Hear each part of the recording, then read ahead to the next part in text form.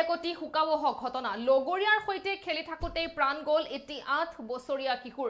নৈত পৰি এতিয়া মৃত্যুক সাৱটি ল'লে এটি আঠ বছৰীয়া শিশুৱে। তাৰ পিছতেই পৰিয়ালৰ মাজত এক শোকাকুল পৰিৱেশে বিৰাজ কৰিছে।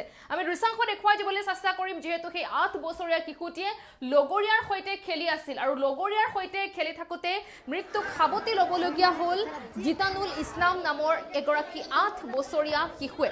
আমি দৃশ্যাংশ দেখুৱাই দিয়াৰ চেষ্টা কৰিছোঁ। ঘটনা সংঘটিত হৈছে হোজাইত। হোজাইত পানীত পৰি সলিল সমাধি এগৰাকী আঠ বছৰীয়া শিশুৰ হোজাইৰ ৰায়কটা চন্দনপুৰত সংঘটিত হৈছে এই ঘটনা। কপিলী নৈত পৰি মৃত্যুক সাৱটি ল'লে জিন্নাতুল ইছলাম নামৰ এগৰাকী আঠ বছৰীয়া শিশুৱে লগৰীয়াৰ সৈতে খেলি আছিল আৰু লগৰীয়াৰ সৈতে খেলি থাকোঁতেই কপিলী নৈত পৰি ডুব যায় শিশুটি। স্থানীয় ৰাইজে বহু সময় ধৰি উদ্ধাৰ অভিযান চলাইছিল যদিও শিশুটিৰ নিথৰ দেহে সেই ৰাইজে উদ্ধাৰ কৰিবলৈ সক্ষম হয়। ইতিমধ্যে হোজাই আৰক্ষী ঘটনাস্থলীত উপস্থিত হৈছে আৰু উপস্থিত হৈ আৰম্ভ কৰিছে তদন্ত। আমি সমান্তৰালকৈ দৃশ্যাংশ দেখুৱাই যোৱাৰ চেষ্টা কৰিছোঁ কিয়নো এক শোকাবহ ঘটনা সংঘটিত হৈছে বুলি ক'ব লাগিব। কিয়নো কপিলী নৈত পৰি মৃত্যুক সাৱটি লৈছে জিন্নাতুল ইছলাম নামৰ এগৰাকী শিশুৱে।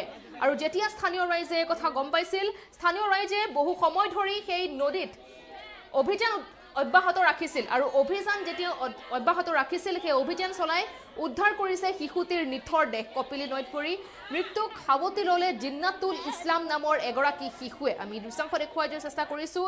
তাৰ পিছতে লোকসকলৰ মাজত শিশুটিৰ পৰিয়ালৰ লোকসকলৰ মাজত এক শোকাকুল পৰিৱেশে বিৰাজ কৰিছে আৰু ঘটনাস্থলীত ইতিমধ্যে আৰক্ষী উপস্থিত হৈছে।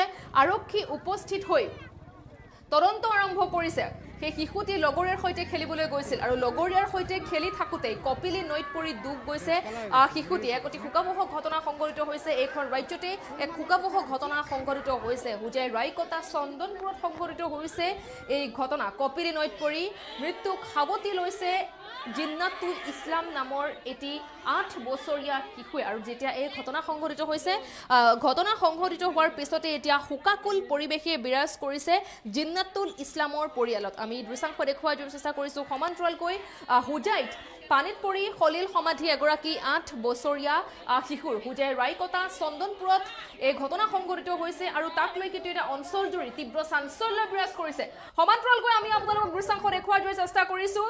ইতিমধ্যে আপোনালোকে প্ৰত্যক্ষ কৰিছে। এই যিখিনি মানুহ আছে এই মানুহসকলে নৈত সেই উদ্ধাৰ অভিযান অব্যাহত ৰাখিছে। যেতিয়া লগৰীয়াৰ সৈতে জিন্নাতুল ইছলামে খেলিবলৈ ওলাই আহিছিল তাৰ পিছতেই কপিলী নৈত পৰি কপিলী নৈত পৰি মৃত্যুক সাৱটি ল'লে জিন্নাতুল ইছলাম নামৰ এগৰাকী আঠ বছৰীয়া শিশুটিয়ে। তাৰ পিছতেই কিন্তু হাহাকাৰ পৰিস্থিতিৰ সৃষ্টি হয়। তাৰ পিছতে যেতিয়া অঞ্চলবাসীয়ে গম পায় এতিয়া অঞ্চলবাসীয়ে সেইদৰে কপিলী নৈত উপস্থিত হয়। আৰু কপিলী নৈত তেওঁলোকে অভিযান চলাইছে। এতিয়া এইদৰে কপিলী নৈত অভিযান চলাইছে। তাৰ পিছতে যদিও ইমান কষ্টকে ৰাইজে অভিযান চলালে তাৰ পিছত অভিযান চলাই কিন্তু উদ্ধাৰ কৰিছে শিশুটিৰ নিথৰ দেহে আৰু যেতিয়া শিশুটিৰ নিথৰ দেহ উদ্ধাৰ কৰিছে তাৰ পিছতে পৰিয়ালৰ মাজত এতিয়া শোকাকুল পৰিৱেশে বিৰাজ কৰিছে। ভয়ংকৰ ঘটনা সংঘটিত হৈছে বুলি ক'ব লাগিব তথা সমান্তৰালকৈ শোকাবহ ঘটনা বুলি ক'ব লাগিব। কিয়নো হোজাইত পানীত পৰি সলিল সমাধি এগৰাকী আঠ বছৰীয়া শিশুৰ। হোজাই ৰায়কটা চন্দনপুৰত সংঘটিত হৈছে। এই ঘটনা কপিলী নৈত পৰি মৃত্যুক সাৱটি লৈছে জিন্নাতুল ইছলাম নামৰ এগৰাকী শিশুৱে।